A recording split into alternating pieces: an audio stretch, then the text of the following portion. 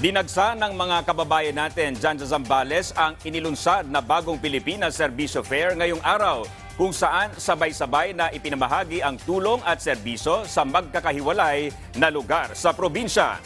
Nagbabalik si Noel Talakay. Mahabang pila papasok ng Botolan People's Plaza ng Botolan, Zambales kung saan ginanap ang launching ng bagong Pilipinas Service Fair na inabutan pa ng news team kaninang umaga. Dagsa rin ang mga tao sa loob ng gymnasium. Ayon sa Zambales PNP, tinatayang nasa isandaang libong residente ng nasabing lalawigan ang dumalo sa naturang programa. Kaya naman pinaigting ang seguridad sa lugar. May mga nakaprepare na po tayong security package doon, medical team, uh, Bureau of Fire na naglagay na po ng mga bumbero.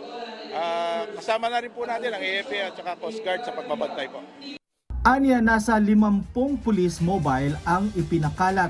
Aabot din sa 270 na personnel ng PNP, Army, Coast Guard at firemen ang nakadeploy ngayong araw. Bukod pa sa cross multipliers gaya ng mga barangay tanod, traffic management at mga volunteer. Priority natin, not only the VIP, to include yung mga pupunta rito na galing pa sa different municipality dito sa Sambales. Ang nasabing serbisyo fair ay kauna-unahan sa buong Region 3 kung saan sabay-sabay idinaos ang pamamahagi ng tulong at serbisyo ng pamahalaan sa iba't ibang magkakahiwalay na lugar sa lalawigan ng Zambales. Meron tayo dito sa iba, ano, sa ah, dito sa gymnasium. Tapos meron sa yung anong tawag doon sa kanang Botolan, sa Botolan People's Plaza.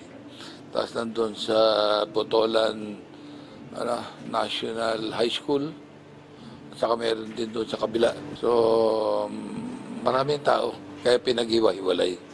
Hindi pa tiyak ni Governor Ebdani kung magre-request ba siya ulit nito dahil naiintindihan anya na kailangan din ng tulong ng ibang probinsya at kailangan umikot ang nasabing programa sa 83 provinces ng bansa. follow up na lang siguro kasi we have 83 provinces now. Ang ang Sambales ay pang sampu. Pero ang importante rito na isimulan nito kung ano yung mga kakailanganin, madali na yung ah, yung ah, coordination.